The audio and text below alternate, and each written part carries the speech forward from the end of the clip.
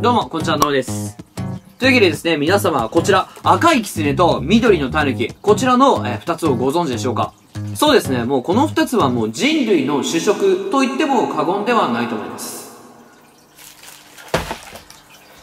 すいません、盛りました。蕎麦とうどんのように。今ですね、この赤いキツネと緑のタヌキがですね、人気を競う食べ比べイベント、赤緑合戦というものをやっているんですね。キッチンカーが全国47都道府県を訪れ、試食イベントを開催していて、まあその様子を、あ僕たち42名の、えー、ご当地クリエイターたちがリレー形式でご紹介ということで、今回埼玉のイベント地が、えー、西武園遊園地というところなので、えー、今からじゃあ西武園遊園地の方にね、行きたいと思います。行くぜ。ふっ。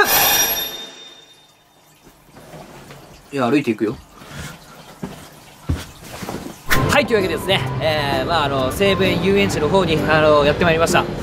いやー一人で来ちゃった遊園地。きちー。というわけで皆さんあの西武園遊園地あのご存知ない方結構多いんじゃないでしょうか。というわけでですねちょっと今日はあのもう西武園遊園地のちょっとスペシャリストの方この遊園地どんなところっていうのをちょっとご紹介していただいてもよろしいですか？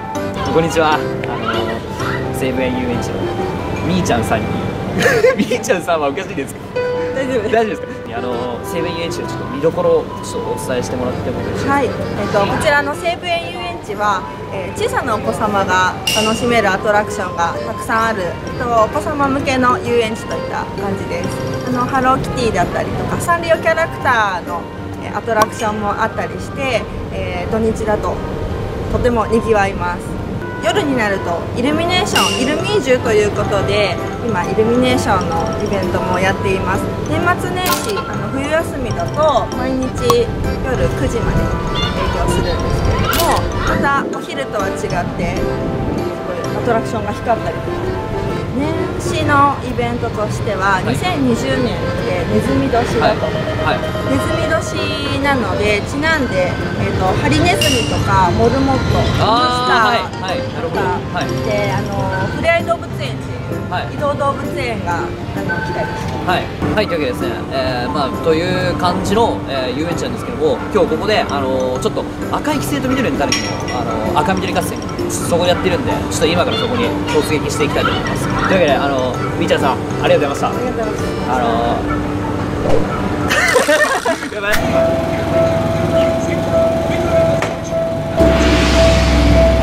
てかこの看板よねこれ。むっちゃかっこいい。これ家に干していいちょっとでけえか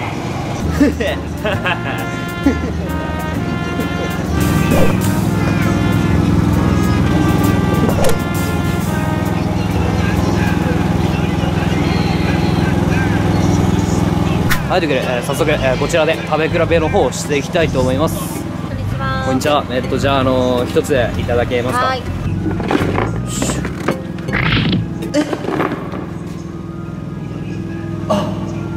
お尻が濡れてる。はいというわけでね、えー、食べ比べのねこの小さい赤い規制と緑にタヌキをもらってきました。いやもう俺朝から何も食ってないからね本当に。もうね今やばい今やばい状態。食べ比べをさせたら右に出るものはいないっていうね。あのー、そういうこと。じゃあタイマー鳴ったんで食べますかね。まずは、えっと、こちら赤いきつねからねいきましょう。赤いきつねはねあの普通にね主食なんですよ。あの研究室とかで赤いきつねはマジでよく食べる。本当に。いただきます。はい神。いいやさ赤いきつね何がうまいかってさだしめっちゃうまくない？これマジで意味わからないぐらい美味しいのよ。よしじゃあ次、えー、緑の、えー、たぬきの方いただきましょう。緑のたぬきはそんな食わないんですけどちょっとどうなんでしょうね。ちょっといただきます。ん？待って。うまい。うまいな。あちょゴミ？ゴミがちょっと待って。あのそっち。あーなんで？いやこのさふわっとした天ぷらをこう一緒に絡めて。うわ。うまっ。あ。歯に挟まったネギが。うん。あこれ来てうんうんうん。あ取れた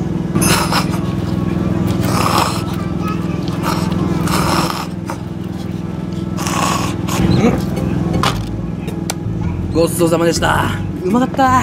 というわけで食べ比べの結果をねここにシールで残していきたいと思うんですけどまあちょっとね緑のタヌキがね俺の中でねちょっとインパクトでかくてちょっとじゃあ今回は緑の赤の木つめ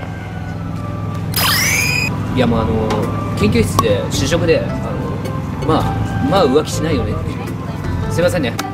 というわけで、えー投票の方が終わりました。でお腹もいっぱいということででせっかく埼玉来たんですよ。だったらさ埼玉のいいとこさ知ってってよ。俺紹介してやるから。というわけで今からみんなで行くよ。せーの。はい。歩いていくよ。はいというわけでね、えーまず最初はね、えー僕の地元埼玉県幸手市なんですけどもまあ見てくださいこれ。紹介したいんですけどもね一面のカレカレカレカレ実はこの場所ですねあっちが桜でこっちが菜の花が満開になってまあ超有名なお花見スポットなんですよね。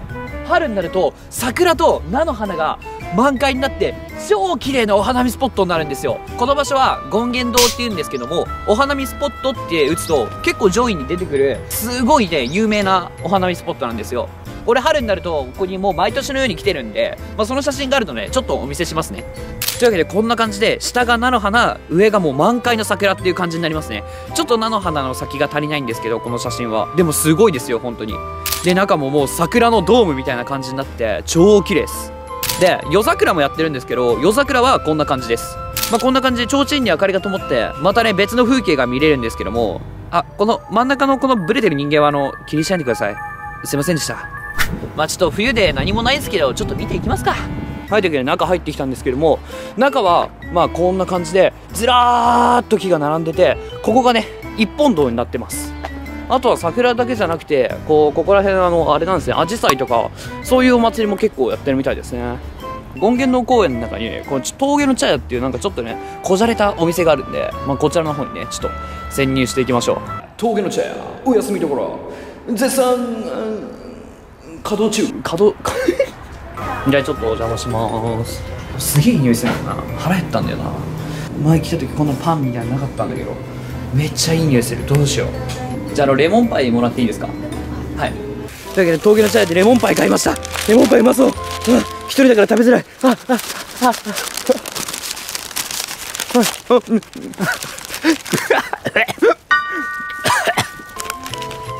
うん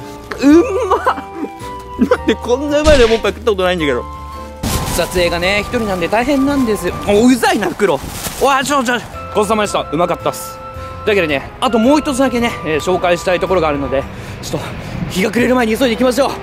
はいというわけでもう日が暮れる前にもう急いで来たんですけど、え2つ目紹介したい場所はですね埼玉県の川越市にある、あのー小江戸って呼ばれる場所ですねえー、と蔵造りの街並みとあと菓子屋横丁っていう場所なんですけどちょっと今通ってきたんですけど人がむちゃくちゃ多いんですよ。というわけでじゃあみんなにこうさらっとね外見を見てもらいたいなと思います。はいというわけで、その街並みがね、え並ぶところに来たんですけれどもちょ車もねこう通ってるんで、あのー車いない時にねちょっと見せたいなと思います。こんな感じになっています。こういうね蔵造りの街並みがこうずらーっと並んでるね一本道なんですよ。ここにずーっとね続いてるんですね。菓子屋横丁と呼ばれるねお菓子がねいっぱい売っているところにねき来てみました。外観は外観はこんな感じですね。これがねずーっとお菓子のお店なんですよ。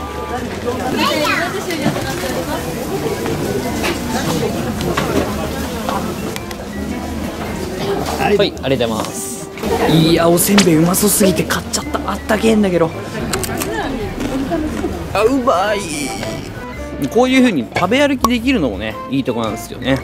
というわけでもう一つ、えー僕が紹介したいお店があるんですけどこの亀屋っていうところがあるんですけどここのシュークリームがバカうまくてそれをねちょっと紹介したいなと思うんでちょっと早速中行きましょう。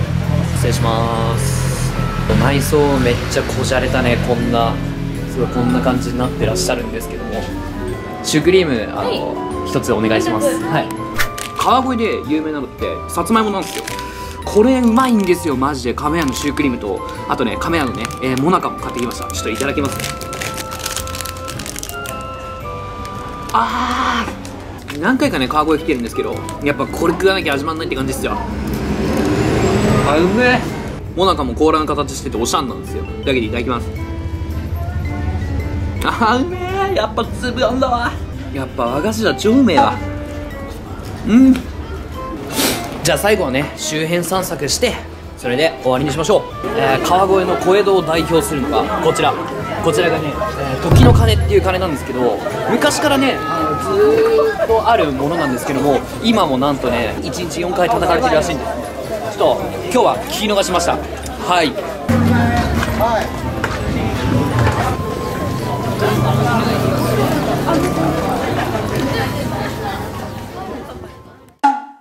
というわけでですね、えー戻ってきたんですけども、埼玉県の赤緑合戦の勝敗つきました。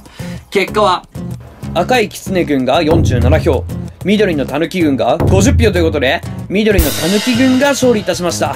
他の県の勝敗とか詳細とか、公式ツイッター、えー下の概要欄にいろいろ書いておくんで、ぜひぜひチェックしてみてください。えー次のイベントはですね、えー東京都で、えーひよちゃれさんがね、えーレポートしてくださるそうなので、ぜひぜひそちらもチェックしてみてください。というわけで、じゃあな。さあ始まりましたタイムアタックモーニングルーティン司会進行役を務めさせていただく